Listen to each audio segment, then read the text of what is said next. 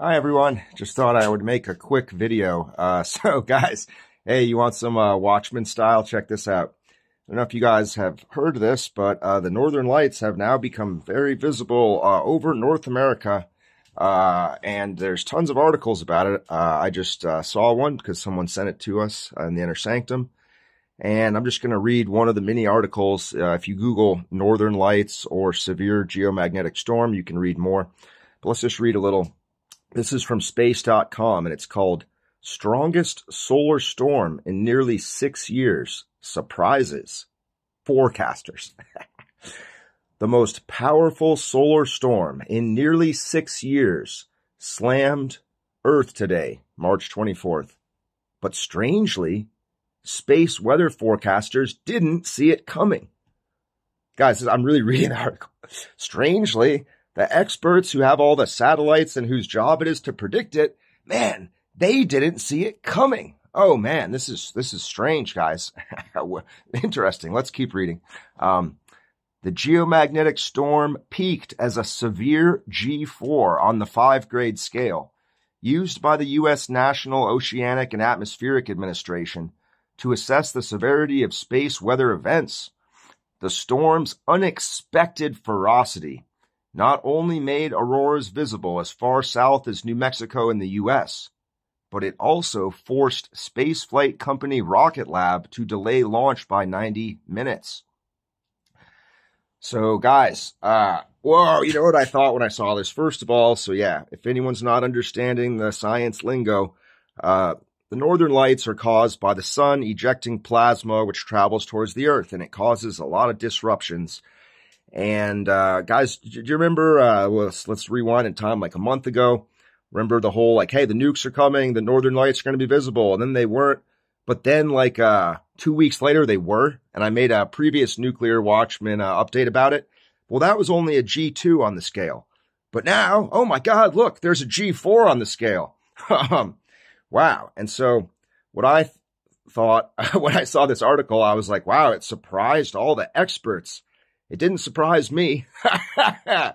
Why? Well, let's just say uh, a, a, mysterious deity whispered into my ear something about, you know, the northern lights being visible. Then they were. Wow, now they're even more visible. Uh, and so, guys, it could all just be a coincidence because also a lot of other prophets on YouTube and stuff are like, hey, northern lights coming, nukes coming, EMPs. Guys, you also remember uh, during that same time when I was like, yeah, the, the EMPs are going to hit, the nukes are going to come. Then like a week later, the EMP balloons flew over the U.S., launched by China. Oh, and now China and Russia have like uh, united in that super coalition and all the nuclear subships have surrounded us. So guys, this could all be a coincidence. Um, I think it's not, guys, because I wasn't surprised, you know, by these events that are now taking place. Well, you know, how is that? Did my mind just imagine that this all stuff? No, guys. so anyway, but I'll try to be serious about it, guys. This is a very serious thing. Okay. I try to get, I'm trying to get uh, serious now. So guys, notice how in this article it says like, uh, you know, that, that this geomagnetic storm has forced a spaceflight company to delay their launch by 90 minutes. Guys, I just had a thought as I was checking this out. It's like, do you know a problem with these northern lights, these geomagnetic storms? Well, why would they cause a, a company have to delay a rocket launch? Because they disrupt satellites. So, guys, this should scare you somewhat. And uh, by the way, I don't know if the nukes are going to hit right after this storm, but they might. So, guys, check this out. So, guys, do you know much about nuclear war? So, they have all these systems that are called like launch on detect. What that means is they have systems run by satellites which are just floating above the earth, looking to see if the other side launches nuclear weapons, right? So imagine, you know, Russia launches a bunch of nukes. The US has satellites that are just looking down for that. As soon as the US sees that, they launch theirs. Because the whole thing with nukes is, is if the nukes from the other side catch you by surprise, blam, they slam into where? Into your side's nuclear launch facilities. Whole idea with nuclear war is like speed, launchers quick, take out the other side's ability to launch back. Because if you do that, the other side is is gone, right? So how do you counter that? They studied this for years. It's this whole thing called launch on detect or whatever the technical term is. I forget. Whole idea is you have satellites above looking. So if Russia launches, the U.S. detects that, then the U.S. launches so that the U.S.'s missiles get away before the Russian nukes come down and take out the launch sites. So now you have both sets of missiles flying. Of course, the problem with these northern lights is what do they do? They disrupt the satellites that are supposed to send the launch on detect signal. So you know what I would do? You know, and believe me, if I've thought of this, I bet you Russia has too. What would be really smart would be to wait when you're going to launch until one of these storms hits from the sun. So now they can't detect the launch on your side because all their detection satellites, of course, yours would be disabled too, but you don't need the satellites to launch the things. You need the satellites to detect when the other side launches. So what I would do if I were like a nuclear launch planner is I would get the whole strike set up I would maybe surround the other side with nuclear subs, have it ready. Maybe I'd fly some balloons over from my Chinese friends to get all the targeting data ready.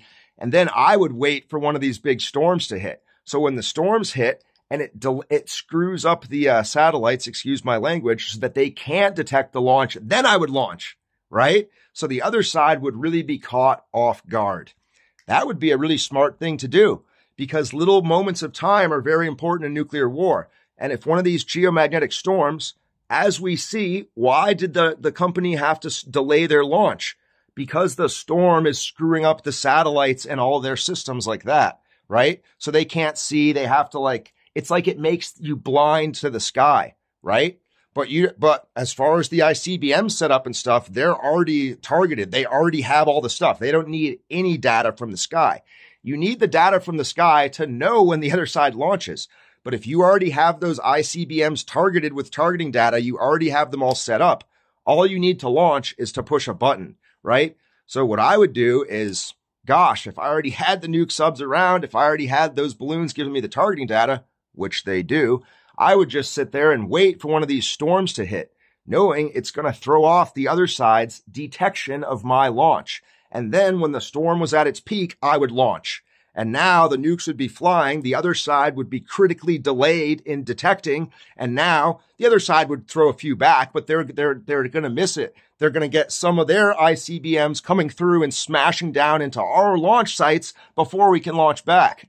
And that would be a really smart way to start a nuclear war if you think about it, because they're always going to get some back. But man, if I had all Russia and China and surrounded, man, I would be like, this is a good time to launch. So I don't know. I don't know if they're going to launch now, but also, you know, if there was a G2 and now there's a G4 and there's a couple weeks from now, there's a G5. I mean, I don't know if you guys follow the logic of what I'm saying here. I don't know. God hasn't told me they're going to launch this time or whatever. I was just thinking about it logically and I was like, man, this would be like the perfect natural blindness event to hide your launch.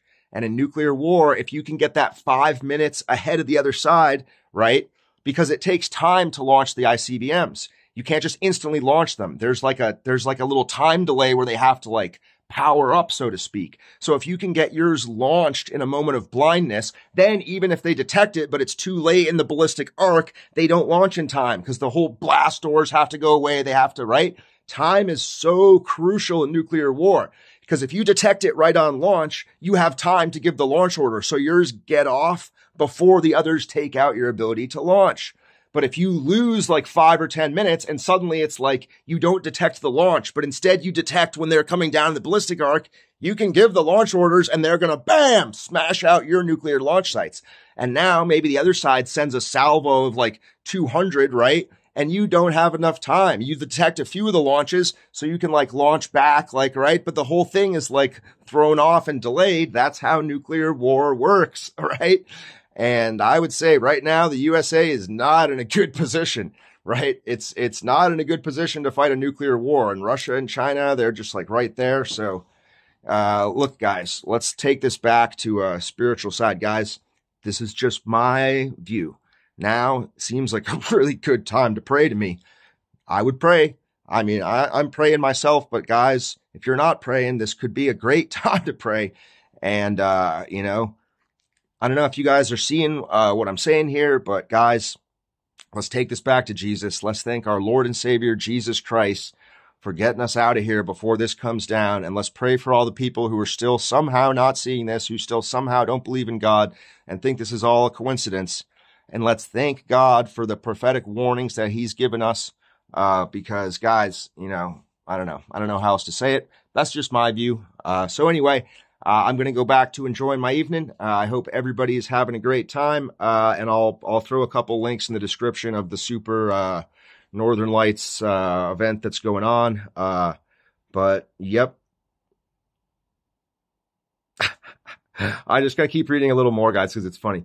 Geomagnetic storms are disturbances to Earth's magnetic field caused by solar material from coronal mass ejections, large expulsions of plasma, and geomagnetic field from the sun's atmosphere.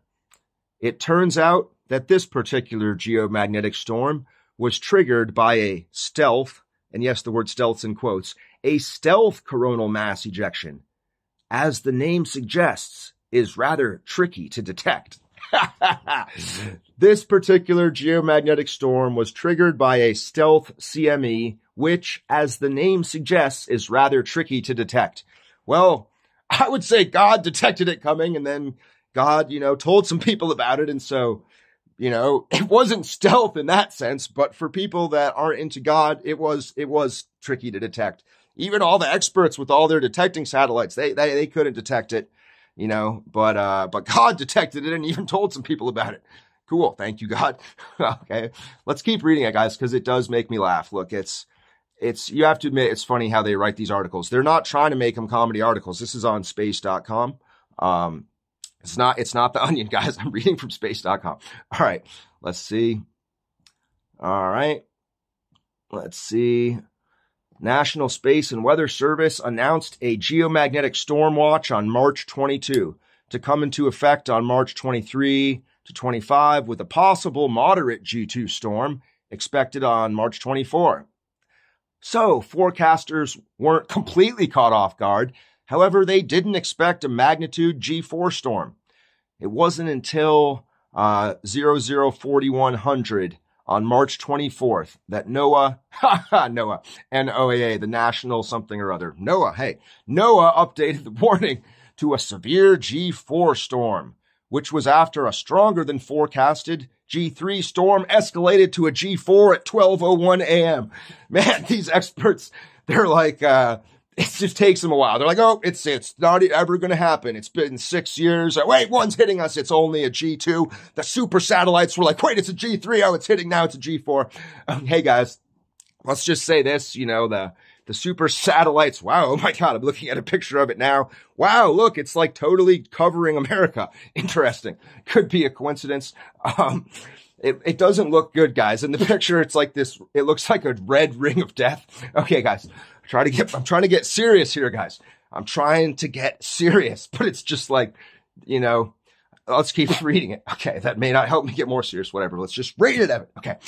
These nearly invisible storms launch much more slowly than eruptive CMEs and are very difficult to observe, leaving the sun's surface without specialized training, she added course, don't they have that? I mean, it's almost like they're making excuses now for why they didn't notice it before. They're like, this stuff is hard to do without specialized training and equipment. Uh, ma'am, don't you have that? Isn't that what your agency does?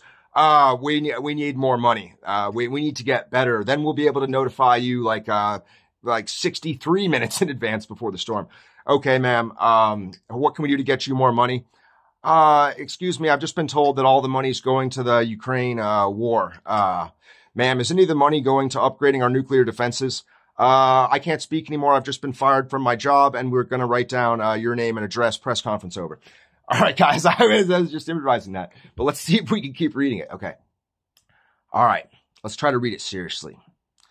These nearly invisible storms launch much more slowly than nuclear missiles, than eruptive CMEs, and are very difficult to observe leaving the sun's surface without specialized training, she said, adding that the stealth CMEs can also be camouflaged by other more dense structures emanating from the sun, which makes them difficult to observe. This is why they are the cause of problem geomagnetic storms like the G form G4 level storm we are in now. Skov continued. You can learn more about these stealthy solar storms in Skov's latest YouTube video, where she describes the space weather event in more detail. All right. NOAA ranks geomagnetic storms on a scale running from G1, which could cause an increase in auroral activity around the poles, and minor fluctuations in power supplies up to G5 which includes extreme cases like the Carrington event, a colossal solar storm that occurred in September 1859, which disrupted telegraph services all over the world and triggered auroras so bright and powerful that they were visible as far south as the Bahamas. Strong geomagnetic storms can be troublesome for spaceflight as they increase the density. SpaceX, guys, okay, it's getting kind of dull now. You, you can read the article yourself, guys. Um, anyway, uh, the, the point is, is that, uh, something made this hard to see for the experts. It was this, they needed more money or training or something. Others would say maybe Satan blinded them, which could have been part of it, guys. Maybe, maybe reading the Bible would have helped them predict things better. Hey, that's to be my advice, guys. Let's send them Bibles to the, the NOAA Space Safety Board. Let's send them some Bibles and be like, hey, guy, let's, let's just put some little bookmarks in the book of Revelation section and be like, hey guys, here's a here's a way to detect things better, get to know Jesus Christ. Okay, guys, with that, uh, I love you guys, and I'll be back soon with more sermons. I just had to take a little time out. Uh, this is Evan, the nuclear watchman, signing off, and may our Lord Jesus Christ continue to bless and protect each and every one of you. Amen. Jesus, coming soon. Yeah. Love you guys. See you soon.